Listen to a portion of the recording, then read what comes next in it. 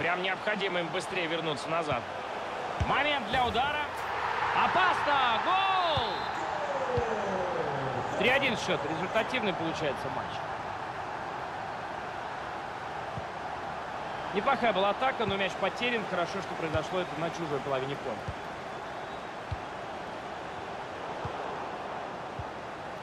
Двадцать минут осталось ему.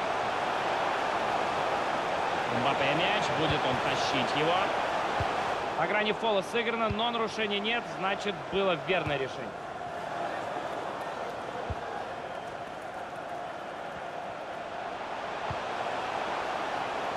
Забирает мяч голкипер.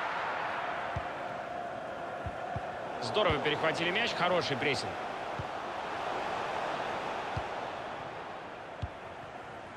А вот хороший шанс быстро развернуть атаку.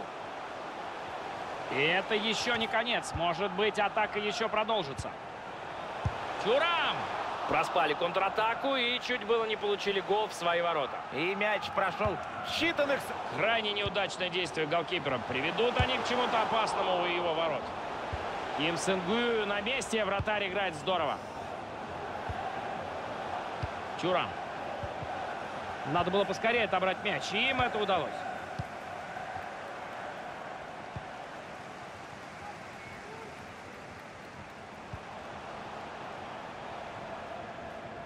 Теперь очередь соперника атаковать.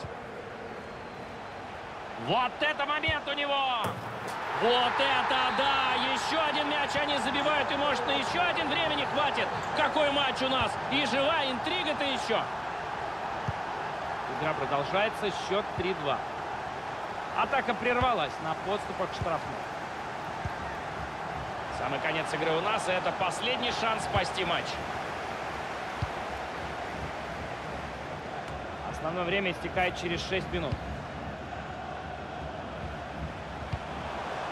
Хороший пас отдал. Гол! Мяч все-таки оказывается в сетке. Снова ничья. Кажется, финал чемпионата мира не закончится спустя 90 минут. И все-таки им удалось сравнять счет.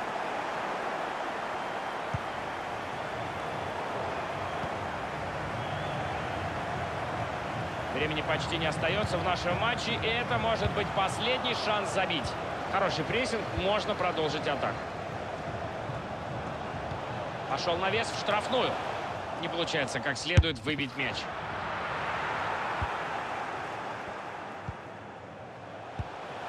Ну решай же! Гол! Вот она, магия чемпионата мира. Не хотят они уходить в дополнительное время.